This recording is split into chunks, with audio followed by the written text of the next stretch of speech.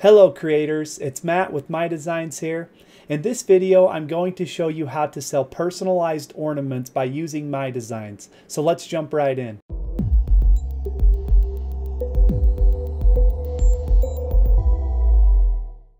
So the first thing that I like to do before I ever start creating or selling any products is to do some research and see what's actually selling. So I'm on etsyhunt.com right now and you can see at the, at the top I've searched Christmas ornaments and then I put on a filter here that said customizable which means it's only going to show me personalized products. So let's just scroll through these and see if we can find something that we can get an idea from. Um, this one right here immediately jumps out to me. It looks like it's got um, over 1,700 total sales, and in the last seven days, 54. Now that number jumps out to me because we are, we're still four or five months away from Christmas right now, and they're already getting 54 sales in a seven-day period. So let's go ahead and just click this one. Um, we'll see if this is something that we can easily create something similar to. Um, so it looks like it's just Amelia's first Christmas. So it's a first Christmas ornament. Um, and then it just has this picture of a bunny. And it looks like there's two versions, one for a boy and one for a girl. So let's jump over to MyDesigns and we'll see if we can design something similar to this. I'm now on the MyDesigns website and I have created a collection. If you don't know how to create a collection, you need to do that in order to actually upload or start creating designs. You can do that by going to the listings page and then selecting up next to listings this button and then you can click add folder. And right here you can name it whatever you'd like. As you can see I am in personalized ornament video. So the first thing I need to do is actually get a proper canvas um, with the correct dimensions for creating ornaments. So I'm going to go ahead and go to our canvas here. I'm going to go to templates and then I'm going to search here ornament. And I'm going to select the round ceramic ornament and then I'm also going to select Swift POD as that's the only partner we have right now that offers ornaments. And then I'm going to select a front print. So you'll see this pops up and so we need to essentially have our designs within this red line, um, preferably even the blue, but for sure within the red lines. Anything outside of the red lines or in this little red line here is not going to be printed as that is where the string's going to go through. So I've also created a design ahead of time just to save some time on the video. So I'm going to go ahead and paste here what I've got. Um, all I did was just go to Creative Fabrica I found this little um, flower border um, with the deer on it and then I have added these as text boxes from MyDesigns which if you don't know how to do you can just click text here you can click add text and then you'll have boxes just like this um, and you can do whatever you'd like to with them um, obviously I think that's a fantastic looking ornament. I think that this would actually really sell. Um, and it's similar to the one that we did some research on. Obviously, we have our own design. We never want to just copy somebody. Um, but the idea of a baby's first Christmas, I think, is a fantastic idea. That's something that parents would love to buy. Um, I say that as a parent myself. Um, this is something that I would probably buy myself for my child, or more like my wife probably would. But I think it's a great design. Um, essentially, when we receive an order, all we have to do is come in and change this name. So let's say they wanted the name to say, um, something like Adeline. So then we could just update it there, save this file, submit it to our print partner, and that's how easy it is to fulfill a personalized order. Um, but I'm going to change the name to that, and then I'm just going to go ahead and save this to our collection. I'm going to name it Test Ornament. It's going, it's going to be a new listing. We want this file to save in the main file slot. Uh, we do want it as a PNG, and this is extremely important. If you're selling a personalized product, you need to make sure that you click Save as Editable. Um, if you don't do that, you won't be able to update these text box. So that is extremely important. Um, once that's done, we can go ahead and just click Create New Listing. Now I'm going to jump over to the listings page and I'll show you what this looks like. As you can see, there it is um, that's our print file ready to go for that ornament. Um, this little pen icon means that it is personalizable, so if that is there, you did save it in the correct way. So now that we have our design, the next step is to fill out this data. Um, so I'm going to go ahead and select our design here. I'm then, or excuse me, I'm going to also then go to Vision AI. Um, Vision AI essentially just scans your image and fills out your data for you. Um, I like to say it gets you about 90% of the way there, but I always recommend that you double check everything um, and that you also um, add some of your own keywords, do a little bit of your own research. Uh, so this is all mapped out correctly how we want it, except for the product type. We want to search this and change it to ornament. And if we don't have an ornament, we do have it as an option, but if you're, if you're doing a product we don't have, you can select um, nothing here and then you can just in the custom instructions tell it to the um, type of product that you're trying to sell. Um, we could include product features, which if we did, we would just select the same one. It would include the features of the ornament. So I'll go ahead and do that and show you what it looks like. Um, and then in the custom instructions, I do also want to say this is a personalized ornament. Please include this in the data. And then I'm going to go ahead and click generate listing data. This should only take just a moment and then I'll show you what that data looks like. Um, and then the next step after that is to actually go to, through the publishing process.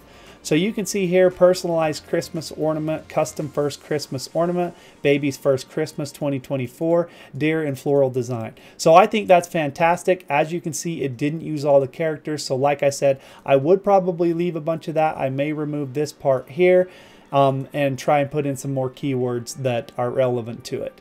Um, and then here's the description. I'm not going to read through the whole thing, but this is what the product features include if you um, select that in Vision AI.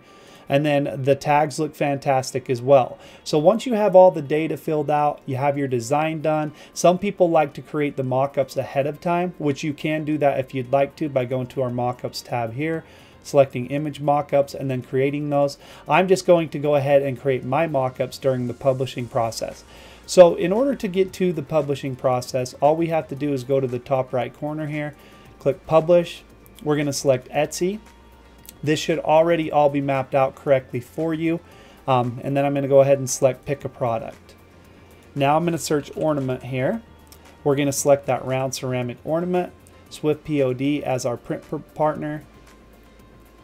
And then right here, we're just doing a front print area. You can do the back as well if you'd like to, but you can see there's one mock-up of it. Um, you can generate more mockups down here by clicking add mockup.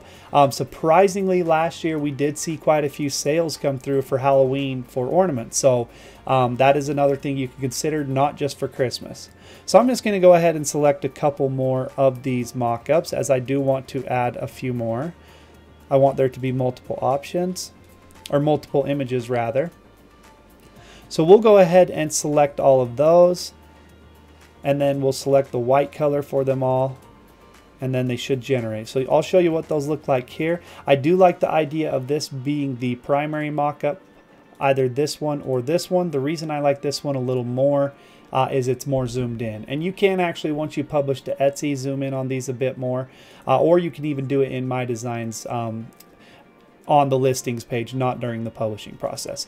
So I think that's fantastic right there. Um, I don't think that we need to add more than that. Those four mockups look fantastic. So we'll go ahead and go to the next price or the next page, which is where we choose our prices. So right here, you can see the cost for you, and this doesn't include shipping, I believe. So we're gonna go ahead and just say, maybe we sell an ornament for $15.99, and we can just click apply. You could, if you're just doing a single listing, change it here, but typically I'm working with multiple listings at a time, and this will apply it to everything at once. So this also down here shows us a preview of our file um, and it looks fantastic. So once we have our pricing done, we'll go ahead and just click preview publish info. So now this gives us a final view of what this looks like before um, we actually publish it to our Etsy shop and everything looks great. It shows us what our primary mockup is, our title here, descriptions here, and then our tags are highlighted in blue down here. Um, the only thing that we need to be sure that we do on this page, again, if we're selling something as a personalized product, we need to make sure that we click this personalization button here. Um, this from field is you only select that if you're working with multiple personalized files at once. It'll allow you to change the message um, versus just here is going to be the same message across the board. So if you were working with multiple files, you would make sure you did that or else the message your customer is seeing would be the same across the board. Since we're just doing one file for this video, we don't need to select that from field. And then I do actually have a um, message here that I'm going to write for my customers that I wrote down. So it just says, I'll show you what is the entirety of it. So it says, please include the first name exactly as it should appear. And then it says, i.e., for example, Ella or just Ella. And this actually says Adeline. So we can go ahead and change that to represent this specific design. That was from the first one.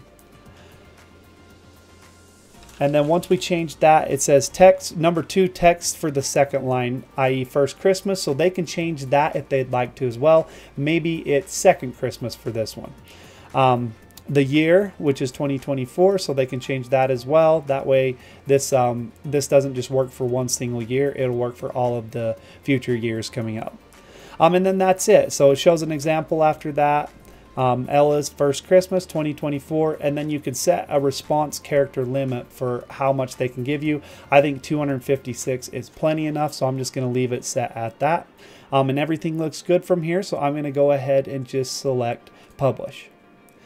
Now I'm going to go ahead and jump over to our Etsy shop and show you what that looks like there. So I'm now on my Etsy shop and I'm in my draft folder. Everything you publish from MyDesigns will always go to a draft folder as you're required to pay that 20 cent listing fee from Etsy uh, before you publish it live. So if we go ahead and click into this, you'll see that the, or, or excuse me, the mockup that we selected as our primary is in the correct place. There's our additional mockups we've had. Uh, our title, all of our data is here, including our instructions for the buyer. So it turns out, or it looks like this listing turned out to be perfect. Uh, there were no issues whatsoever, and that is how easy it is to create and list personalized products on your Etsy shop by using MyDesigns. So the way that we fulfill an order when we receive it for personalization is actually really, really simple, and I'd like to go over that with you now. So whenever you receive an order, you just need to go to the orders page here, and now you'll see all of your orders. And this one right here is one that I had a friend of mine place so that I could show you guys how to fulfill these. Um, so you just go ahead and click into the order and then you'll see here it says personalization request. So this message is what your Etsy customer gave you in that text box that I showed you um, for instructions on what they want. So it says Adeline's second Christmas 2024. So if you remember right, um, our, our print file that we created said Adeline first Christmas 2023, I believe. It might have said 2024, but this is how you do it. All you have to do is click the order and then you click personalize. And then when you click personalize, it's going to bring up our Canvas system with that same file that you already created. Um, and then the personalization request again is right here in the top right corner. Um, you can move it up and down if you don't want it showing, but this is exactly how they want this done. So we'll go ahead and update this right now. So we they wanted to say Adeline's second. We'll do it all caps just like we had it. Christmas and then we're going to say 2024. So we did have it as first, but anyways, this is how easy it is to personalize files. So just like that, we're already ready to go. We just double check, make sure everything's spelled right. Um, a lot of people even copy and paste it. That way they know for sure they don't make an error. Um, but once we have this how we'd like it, all we have to do now is click overwrite or you can save it to a collection. Uh, you'll see that right here it says this order is being modified. It might take just a minute. Um, and there you go, just like that, we can go ahead and open the actual print file and make sure that it looks good. So you can see Adeline's Second Christmas 2024, and then we'll go ahead and jump back over to the orders page here. Um, and that's how simple it is. Now all we have to do is click Approve Order and then we click yes, approve order. I'm not going to actually send it in. I'm going to cancel the order as I don't want to get charged for it since I'm just showing you how to do it. But that is how easy it is to um, fulfill a personalized order by using MyDesigns. So I hope everything in this video made sense. If you enjoyed the video, please like and subscribe to our YouTube channel. Uh, if you have any questions, feel free to leave a comment below.